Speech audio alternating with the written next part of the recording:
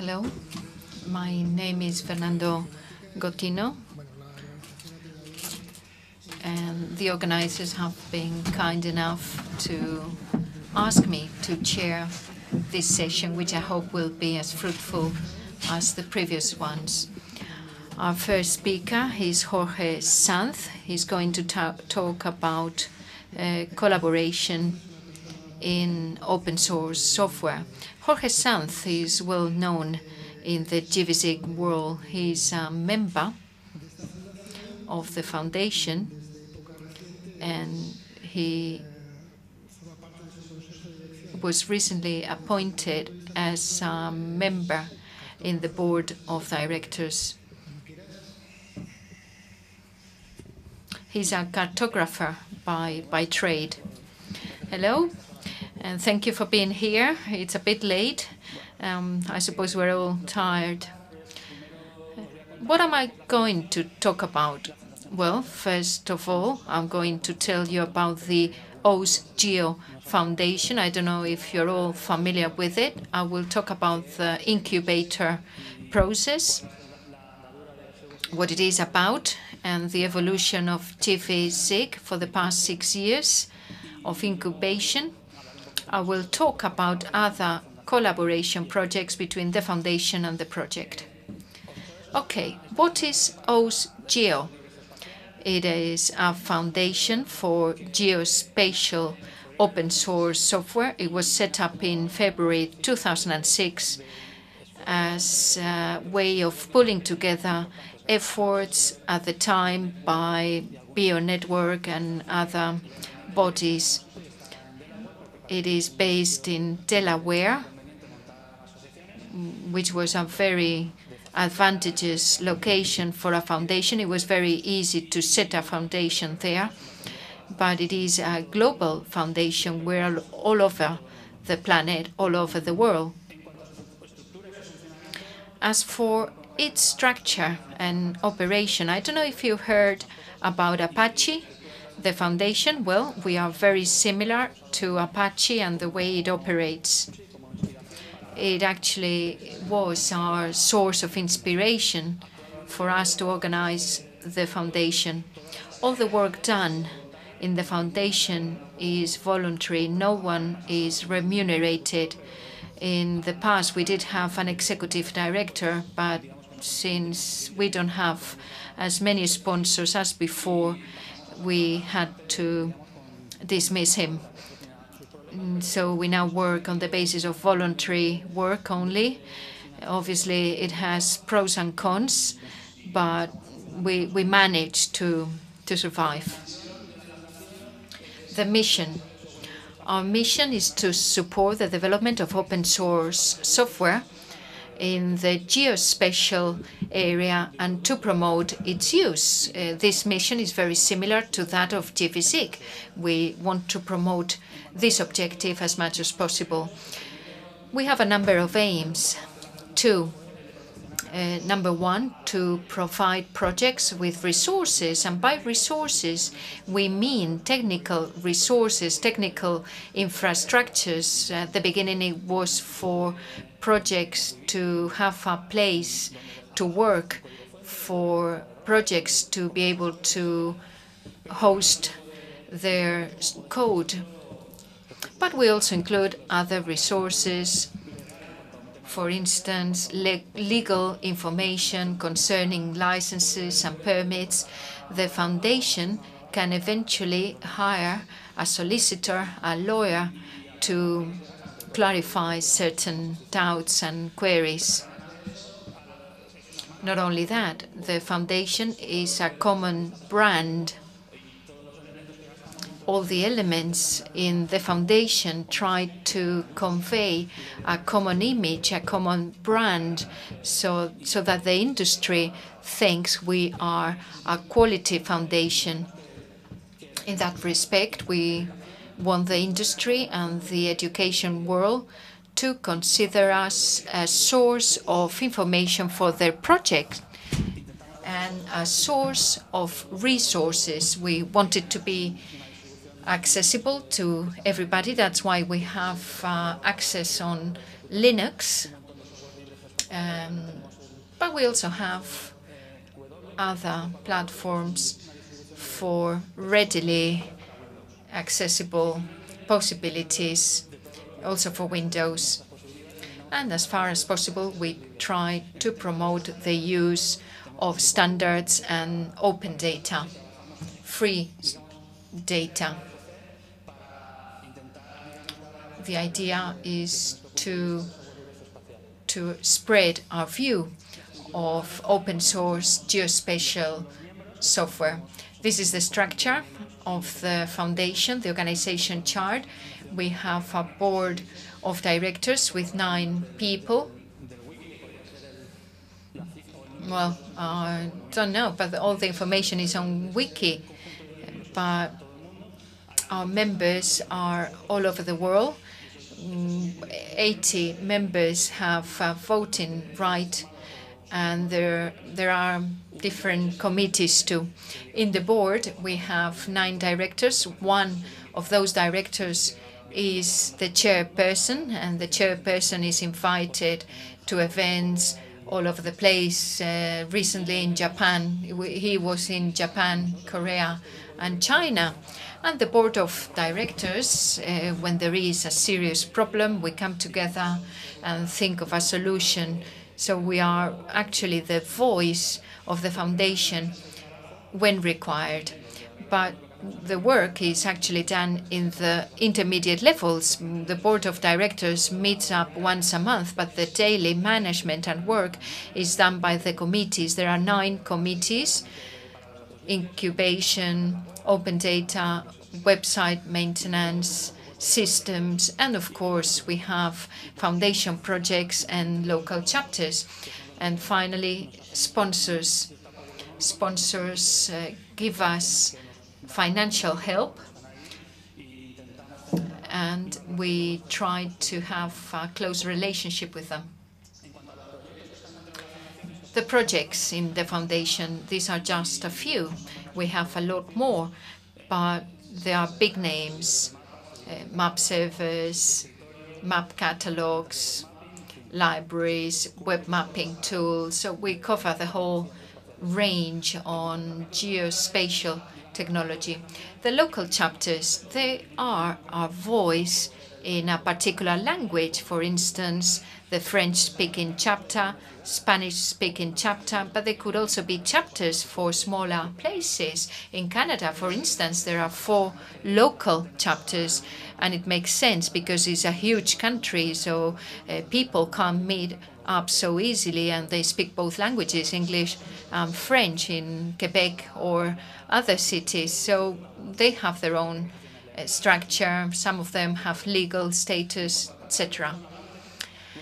Right, Spanish-speaking sections or chapters since 2008, we give support in Spanish uh, to our mailing list, a very long mailing list, and we translate documents into Spanish. We try to give advice. We promote open source events. These Spanish-speaking chapters cover the whole of Latin America and Spain. But in the end, we're all together in tiny micro chapters or groups in which we all know each other. We meet up regularly in cities, basically in Barcelona, Madrid, Cantabria, Santander in the north of Spain, Cordova, Seville, Tenerife, Buenos Aires, Mexico, etc. So these small groups do a number of things. And at the end of the day, we all talk the same language, we all speak the same language. And finally, the last large activity, FOSS 4G, which is an international event. It is very, very interesting because it brings together all communities dealing with geospatial open source software. So it's a great meeting point for all of us to get to know each other and present our projects. It's, it's really a good place. This event, however, uh, well, it, it's moved. It has moved all over the, the place, as you can see. But uh, it's been broken down into regional events. This year, for instance, we didn't have a conference in Europe, so it was held in, in the US, and next year it will come back to Europe. And there will be one in Buenos Aires too, in Central Europe this year too. So these events are very technical and it's worth attending. Project incubation.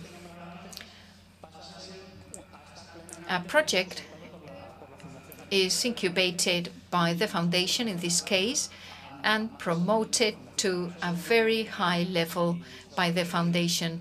It's not, it's not just a matter of sending your project. It, it, the project needs to be eligible. It needs to fulfill a number of criteria. It is thoroughly reviewed.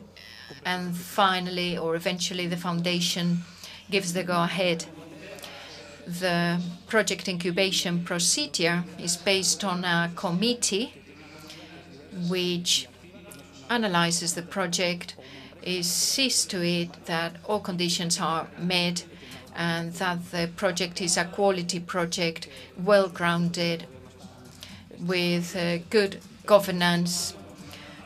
This is a diagram of project incubation. Projects may be escorted by a mentor. If they don't have a mentor, a mentor needs to be find, found. Sorry, um, mentoring lasts as long as required, and once the mentoring process has been completed, the project is voted upon. If the committee gives their okay, it is then reassessed by by third parties, by a third party, but usually this is not the case. The committee studies the project very, very thoroughly and usually gives the, their approval.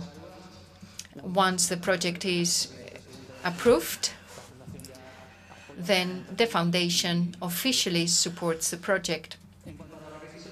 Requirements. Typical requirements for a mature project. A project with a sufficiently diverse community. The project needs to be sound, solid, because ultimately the project needs to be stable and survive over time. It should not be a one-person project and eventually vanish or disappear.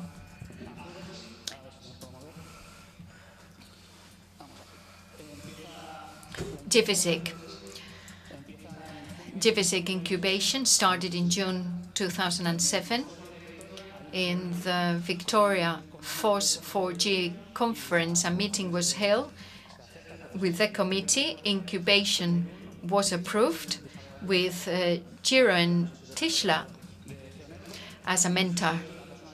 And I, I was the contact person because I already knew the people in the foundation and I was working for gvSIG, so it made sense. But at the time, gvSIG did not yet have uh, open version control.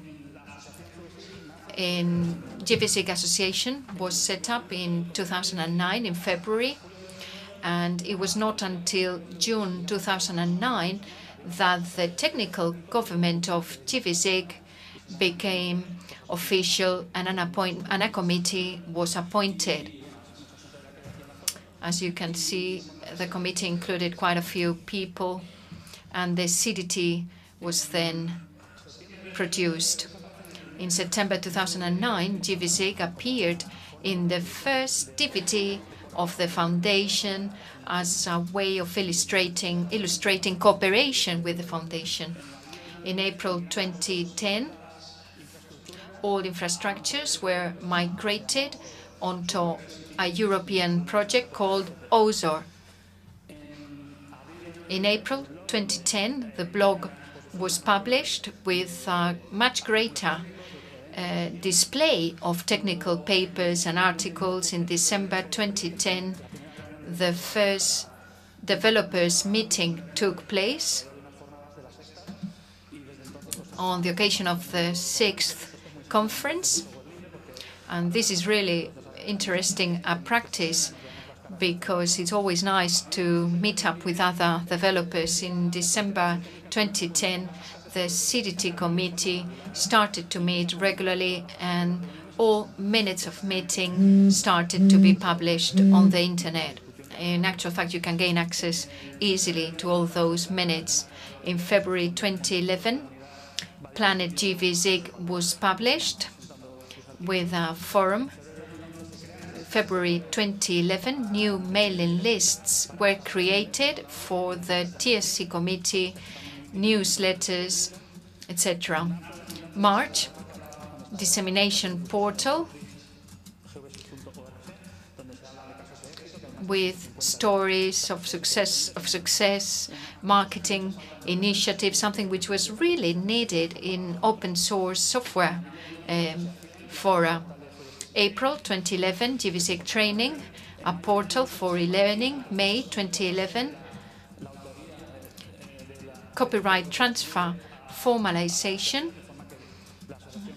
in such a way that the association keeps their copyright, which is very, very important, particularly if the license needs to be changed in the future, because otherwise you have to ask for permission from all contributors for a license change. January 2012, um, it was not very successful. We had to leave because JoinUp did not comply with the requirements of the project, and so we needed our own infrastructure, one more in line with our needs. And finally, February 2013, I did not have too much time for gvSIG, so the contact, a contact person was appointed in Madrid. Manuel Madrid, sorry.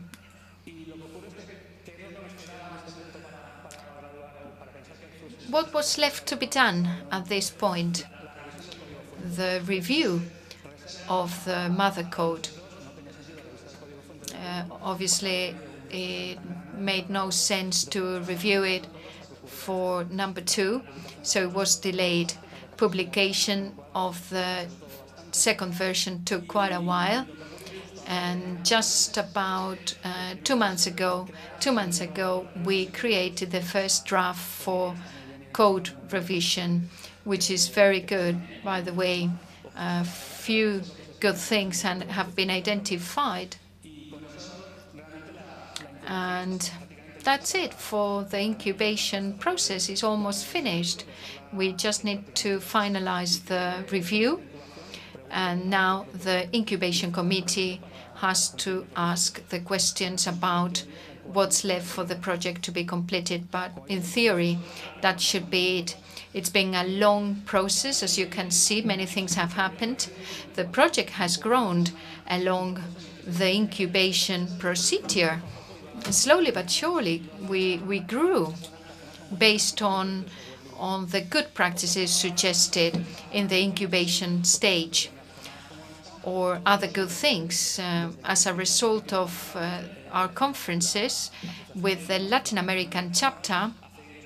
The organizers of the conference have made room for attendees from Latin America to meet. Five minutes, Jorge. Mailing lists Argentina, Russia, Pato V, and a few more. In short, some of these lists of gvSIG are on OSGeo mailing list. So OSGeo provides the project with infrastructures.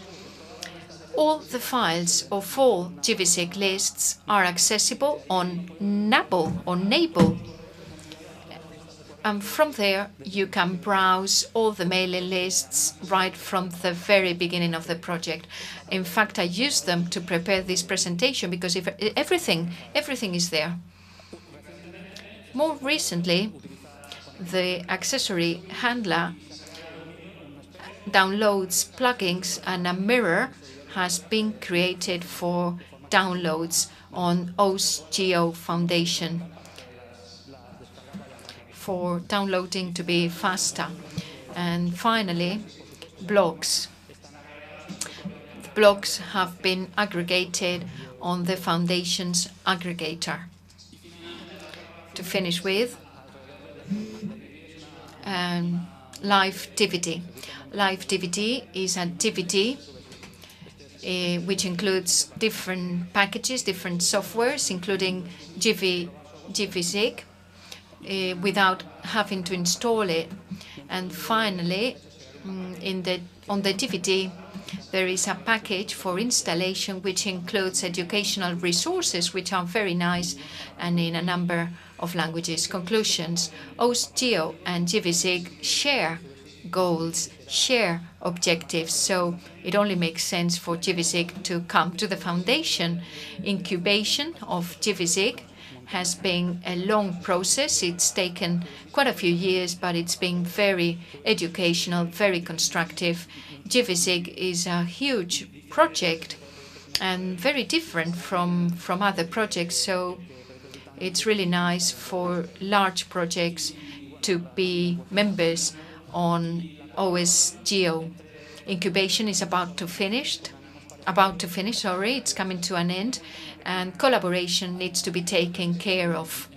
Let me tell you a little story. In the FOSS 4G meeting this year in Nottingham, I had dinner before the opening day with a representative of the incubation committee, and over dinner, we managed to do so many things because when you are face to face, you have a huge opportunity, a great chance to understand things a lot better, to understand intentions, and it, was very nice, very friendly. Um, so over dinner, we came up with the draft for the code review. And I think that's it from me. Thank you. Thank you very much.